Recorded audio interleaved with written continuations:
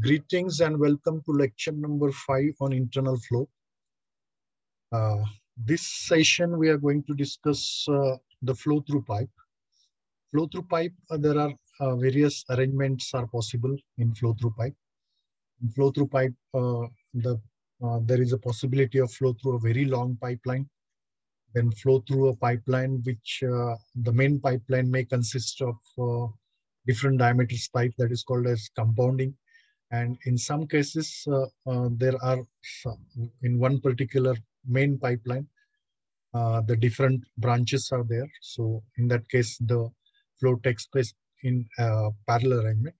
So in summary, there are three, three possibilities, flow through a uniform diameter long pipe, then flow through a if compound pipelines, so where uh, the entire pipeline may, may consist of two, three uh, different diameter pipes and flow through a parallel arrangement where the main pipeline divides into uh, two to three uh, sub branches. Uh, so these are the uh, cases we are going to discuss in this particular session. And each case, uh, we will see how to analyze the flow through these pipes. So first case, flow through a long pipe. now, if we consider a long pipeline of diameter D and length L, uh, carrying liquid from reservoir A to another reservoir B as shown in figure. Let we can say this HA and HB uh, be the constant heights of the liquid surfaces in the reservoir A and B respectively above the center of the pipeline. Let uh, ZA and ZB uh, be the heights of the centers of the pipe ends connected to the reservoir A and B respectively. Now, if v is the mean velocity of flow through the pipe, uh, then the head loss due to friction uh, that we can calculate. The head loss due to friction if v is the main velocity. So this is the situation. Uh, so practically there is a possibility uh, uh, the two different levels we can consider. So even the irrigation, most of the theory is applicable for irrigation pipeline. So there we can say, if, suppose uh, the water is transferred from one location to another location and separated by elevation. And in that case, uh, that elevation indicates whether that water reaches that particular, because obviously we can see uh, if we apply the Bernoulli's equation here and here, the total energy at uh, reservoir A is obviously greater than total energy at B. And if after the flow the reservoir B level is like this, then the difference in level generally gives the losses occur in between. So there are various losses in between because this is even this is a pipe section. The major long pipe section, the major losses are the loss due to friction, which is in this particular case, as this is a uniform diameter pipeline, we can calculate by using the relation FLV square by 2 where F is the friction factor of this particular pipe, L is the length of the pipe, v is the velocity through the velocity of flow through the pipe, and d is the diameter of the pipe. Uh, then head loss at the entrance of the pipe, uh, we have studied various losses, uh, head losses. So at the entry, it is uh, generally considered as 0.5 v square by 2 g. At the exit, uh, so there are only two minor losses where the velocity changes its magnitude here from zero to some velocity v and here v to zero velocity. That's why the velocity is zero to some velocity. So there is a change in magnitude. So we have to consider the minor losses as well. So head loss at the entrance of the pipe is given, that is 0.5 v square by 2 g. Then head loss at the exit uh, v square by 2 g. Uh, then the total head loss, uh, even if we apply the Bernoulli's equation between A and B. So every time Bernoulli's equation makes the thing simple or easily understandable. So whenever there is a flow take, uh, taking place across any uh, test section, you can apply the Bernoulli's equation and you can measure uh, the heights there. And if we go with first principle, it is always easy to understand. So similarly, we apply the Bernoulli's equation between A and B. We can say we call this section one and section two respectively uh, in the reservoir so here at A, the total head is, uh, there is only a potential head present. At A, uh, no pressure is there. Pressure is atmospheric and uh, uh we can say velocity is zero. and only elevation is there, potential head. So HA plus ZA, that is the total head at A. Then head, total head at B, uh, so that is what is remaining, that is HB plus ZB. Uh, plus losses. So according to modified Bernoulli's equation, so Bernoulli's equation at A, that is equal to Bernoulli's equation at B plus the various losses on that is called as a small HL. Small small HL in this case is HF plus small HL uh, that is uh, actually the head loss, a minor loss and uh, major losses. So addition of this, there are two types of minor losses at the entry and exit and one frictional losses. So this is the case. So this minus this, that is nothing but uh, the capital H. So this is minus, that is equal to, if you rearrange this, we take common term that is V square by 2Hg and this is 1.5 plus FL by D. So we can get the expression because this is equal to h. So h, this is nothing but h. Uh, actually, if we neglect all these losses, then it is equal to hf. If we consider all the losses, then h is nothing but this. So this is equivalent to losses.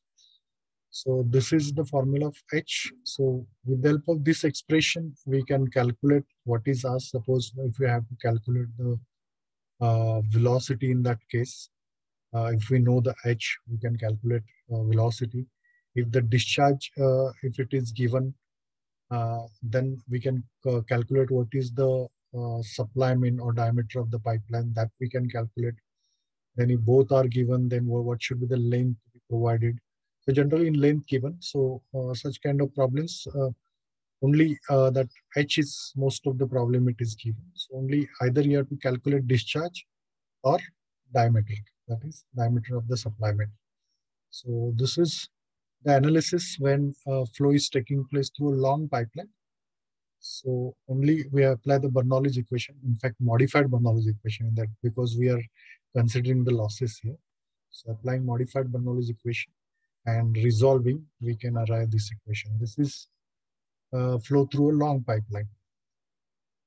Now H is the difference in the liquid surface uh, that is between uh, in the reservoir A and B. So pipes in series, or it is also called as a compound pipeline. Suppose this is the entire pipeline uh, uh we have seen in previous slide. If it is made up of uh, the pipes of different diameters, then this particular arrangement is called as pipes in series or compound pipe. Uh, so if the pipeline connecting two reservoirs is made up of several pipes of diameter D1, D2, D3, and length L1, L2, L3, etc. All connected in series as shown in figure. Then the difference in liquid surface levels is equal to the sum of uh, the heads in all the sections. Further, the discharge through the each pipe will be the same. Thus, with reference to figure, the following equations may be applicable. So if uh, that H that equal to the, all the losses that we have seen in previous, H is equal to the losses encountered in the pipeline. That is considering minor losses and major losses. So H, that is a difference in level, which is equal to the losses. Uh, again, if we go with the first principle, you'll come to this equation. So as we have done the same practice in previous case, so we have written this direct equation. So here we can say that H is equal to first that is loss at the entry plus frictional loss of pipe 1 plus loss due to sudden contraction plus frictional loss in pipe 2 plus loss due to sudden enlargement in that case v2 minus v3 bracket square upon pi g plus loss in uh, frictional losses in pipe 3 and plus exit losses. All these losses if we consider then uh, this all constitutes the head difference, that is H. Uh, but uh, if we see the physics here, so the what is the water entering according to law of conservation of mass? Mass entering into the pipe is mass leaving. So mass flow rate remains constant. So consequently, it is incompressible fluid. The volume flow rate is also remains constant. So Q is equal to Q1 is equal to Q2 is equal to Q3. That is the relation. And if, however, most of the uh, numericals for long pipeline, generally these minor losses are neglected. Then uh, the equation that is H, that is also equal to HF, That is addition of all losses. That is HF1 plus HF2 plus HF3. So these are the two important relations for pipes in series. If the pipes are connected in series, then the discharge through each pipe is same. But the head loss, total head loss, is the summation of head loss in each pipe section. This is HF1 plus HF2 plus HF3. So this is the analysis for pipes in series or compound pipeline. Secondly, when the pipes are connected in parallel, that means the main pipe divides into two or three sub pipes and uh, again, uh, these pipelines are connected or uh, further it is joined to the main pipeline. Then the pipe is said to be a parallel. So we can say the pipe are said to be in parallel. The main pipeline divides into two or more pipelines, which again join together downstream and continues as a main line may be seen from the figure that the rate of discharge uh, in this particular case in the main uh, line is equal to sum of the discharges in each parallel pipeline. So discharge, there is an addition of discharges because the main line divides into two or three. In this case, there are two, that's like T1 plus T2. But uh, both main pipes line are connected uh, to the same. So even if you consider this passage or this passage, any passage you consider, the head loss is same. So head loss in this particular case, when the pipes are arranged in parallel, the loss of head in each pipe is same. So that's why H is equal to either HF or uh, HF1 or HF2 because the flow is taking place either in this path or in this path. Any one path, if you consider, still the H value is common for uh, both cases. That's why H that is equal to HF that is equal to HF1 equal to HF considering this, this is a very short length. Uh, so major length is the parallel. So if you consider only this, then it becomes, so neglect this particular length. So only we are considering the uh, head loss in this particular section because the total, it's like a velocity for, uh, sorry, voltage drop. So voltage or electric circuit in parallel, electric circuit is series. The similar logic is applicable here, that correlation. So it is analogous to that electric circuit. So that H is equal to HF, that is equal to HF1, that is equal to HF3. So exactly the reverse relations are there in pipes in parallel. Pipes in series, the discharge is same and uh, there is addition of head losses and vice versa in pipes in parallel. Here the discharge is addition of both and the head losses are constant. Uh, then we take one numerical. Here the pump delivers water from a tank A to uh, water surface in the elevation 110 to tank B. Water surface elevation is uh, this is uh, this is the situation where the water surface elevation in tank A is 110 and it is lifted to tank B where the water surface elevation is 170 meter. The suction pipeline is given so D1, L1, F1 is given that is 45 meter long and its friction factor is given. Now here we can consider friction factor because the value is point not something. It is point not not something. So generally it is considered as a coefficient of friction. It is mentioned friction factor is generally Darcy-Weisbach coefficient. And 35 meters centimeter in dia. Uh, so this are the uh, specifications of suction line is given. The delivery pipe is 950 meter long. F value is also given and 25 centimeter in diameter. The head discharge relationship for pump is given, uh, given by HP that is equal to 90 minus, uh, 8000 Q square. So uh, the head developed by the pump, that relation is given in terms of Q, where HP is in meter and Q in meter cube per second. So calculate discharge in the pipeline and the power delivered uh, by the pump. Now in this situation, uh, we can easily understand this is the situation of pipes in series because the two different diameter pipes are connected to each other, but uh, in between there is a pump also. So assuming the practical example, so we consider use the notation for first pipe that is uh, suffix B, so that is suffix 1 that is diameter, length uh, is given and friction factor F1. Then second pipeline that is D2 converted into meter L2 and friction factor F2. And this relation is given. So this much information is given. We have to calculate the discharge in the pipeline. So again, in order to calculate uh, for discharge, first of all, we have to calculate uh, the frictional losses. Uh, so only with the help of this information, we have to solve the problem. So frictional head for the entire system uh, that is uh, given by the relation. Uh, that is HF is equal to, if we consider the entire losses, that is entry loss and exit loss also. So this is the expression.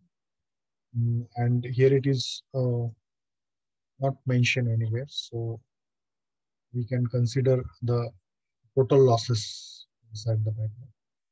This 0.5 V1. So according to continuity equation, now we eliminate V1 from this V1 or V2 from this equation. So if we rearrange this V1 uh, in terms of V2 is 0.5 because A1, A2s are given and di diameters are given. So we can easily develop relation between V1 and V2.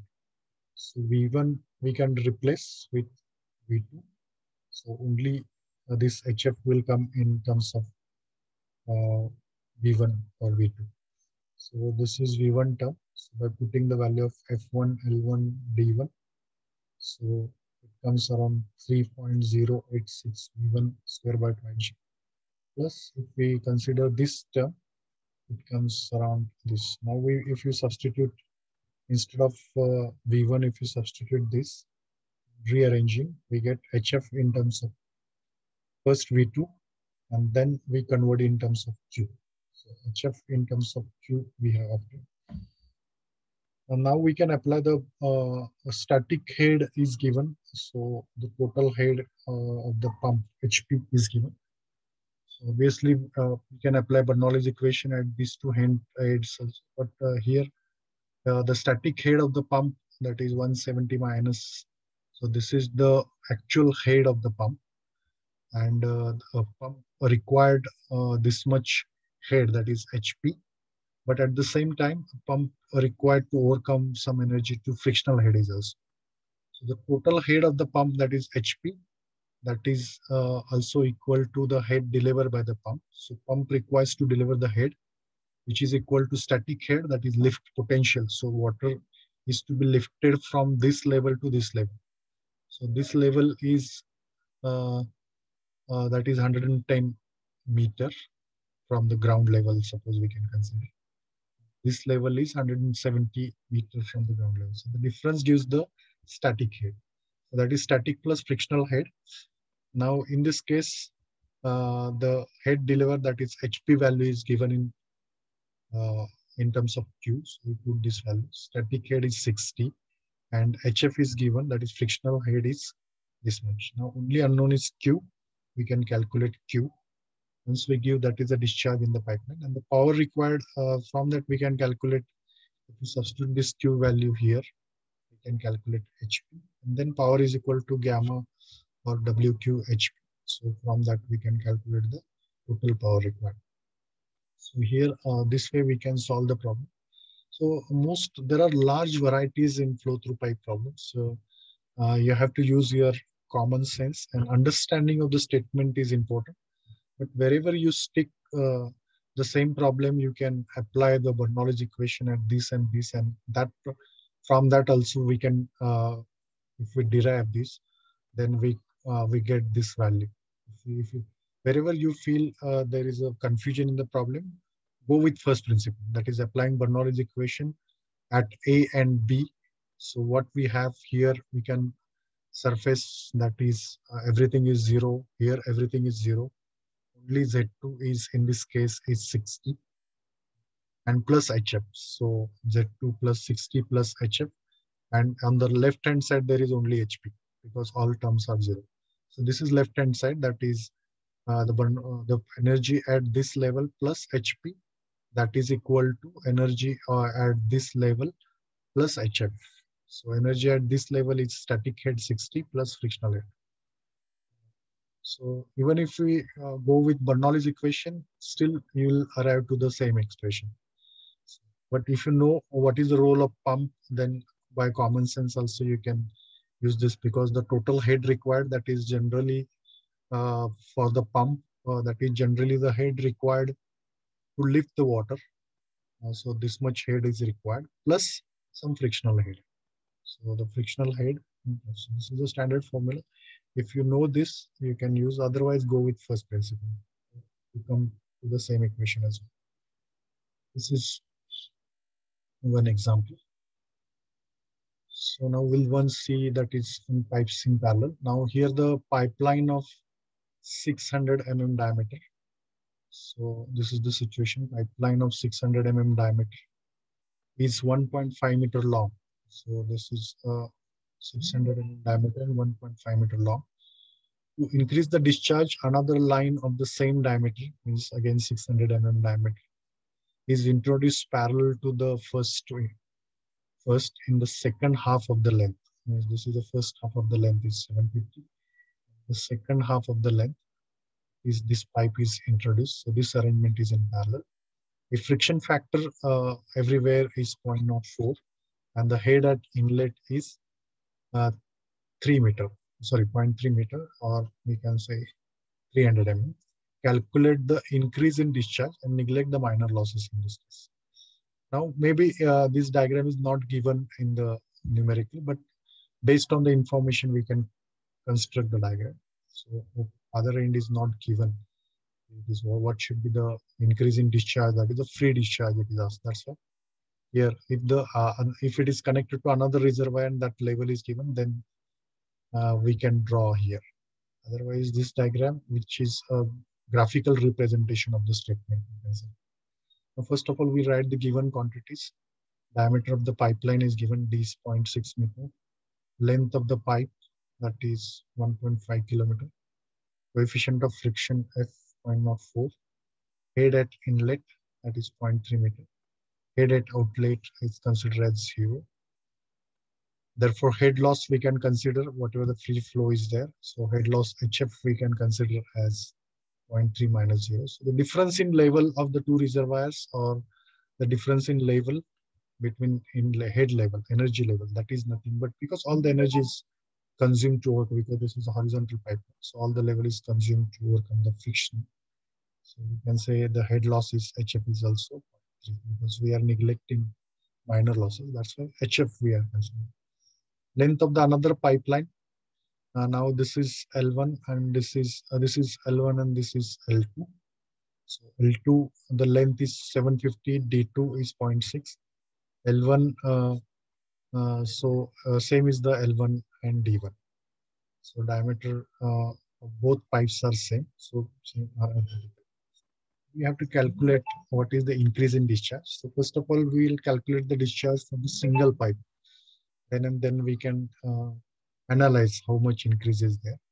So area of the pipe uh, we can calculate now in each pipeline of same diameter. So area everywhere is same. So that is required for calculation.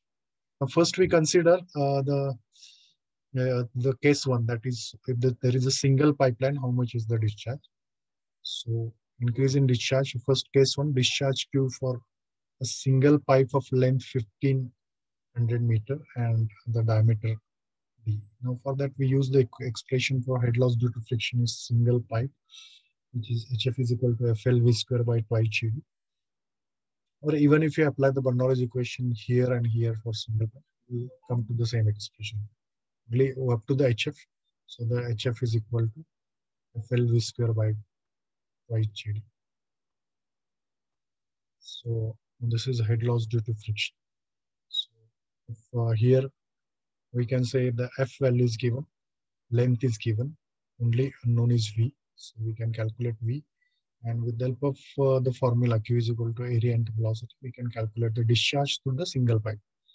So this is the uh, discharge when there is a single pipe line is used. Now uh, the when an additional pipe of length to 750 meter and diameter 0.6 meter is connected in parallel, with the last half length of the pipe.